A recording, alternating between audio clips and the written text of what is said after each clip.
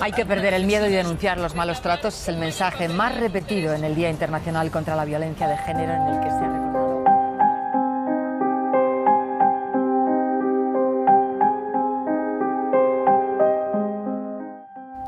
1.027 mujeres han sido asesinadas desde 2003.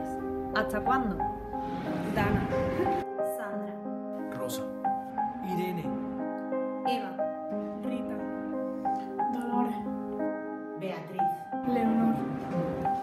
Piedad.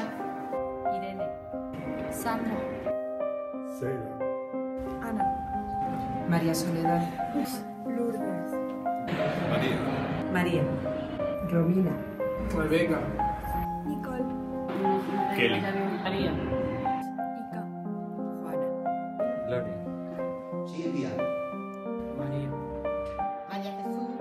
Manuel. Mari Carmen. Basta ya. Basta. El tratador no cabe en una sociedad justa. Por un mundo donde seamos socialmente iguales, humanamente diferentes y totalmente libres.